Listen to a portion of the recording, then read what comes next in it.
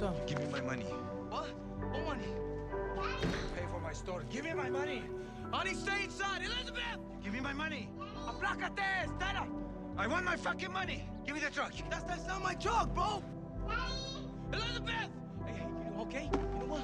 Hey, I got $50. Here, here. Dollars? Hey, fifty dollars? You took everything. Mommy!